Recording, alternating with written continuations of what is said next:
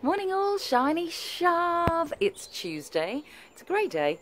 Um, but actually, this little shiny shove is a what do you need encouragement to do today? What are you actually hoping to do or hesitant about doing that you need or would love a little bit of encouragement for.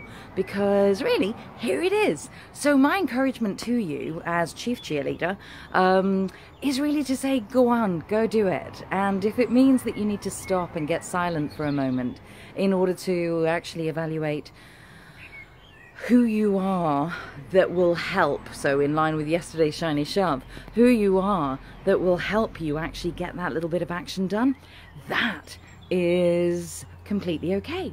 So, for example, this morning I'm heading off to a doctor's appointment, and um, I haven't been to one of those in years. Um, but actually, it's the right thing to do for the thing that's shown up.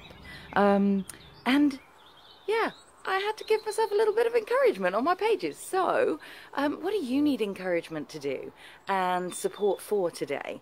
And how could you go get that? So if it's from me, I encourage you to go do it. I think you're amazing, whatever it is that you're up to, and go do it.